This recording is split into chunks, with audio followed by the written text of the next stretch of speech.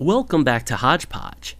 In this tutorial, we will be reviewing what is in my opinion the most quintessential aspect to drawing in Rhino, and that is our object snaps. The object snaps will be located on the bottom right, but just in case if they are not, you could bring them up by typing Osnap. For our first test, we will uncheck everything except for endpoint and near. As you can see, the near snap will snap my point to the circumference of the circle as I rotate around it, while the endpoint snap will snap my point to the endpoint of a line segment.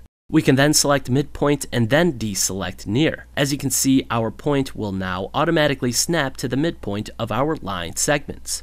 Deselect your current snaps and now select near and perpendicular. Doing so will help us select the circle and get a line that is perpendicular to our square. Again, deselect your current snaps, and then select intersection and tangent. For this to make sense, we would need an existing line that creates an intersection that we can then select.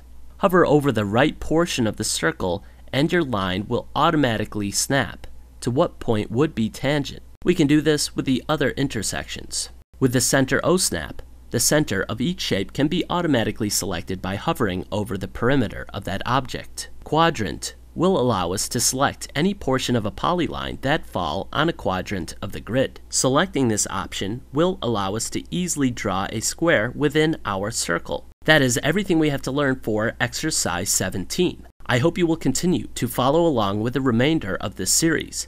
After this video, I will be skipping ahead to exercise 22 because I feel that the next few exercises are self-explanatory. It's time to start moving along with more advanced skills. Thank you for watching. Please feel free to leave a like and share this video. Check out my other videos and subscribe.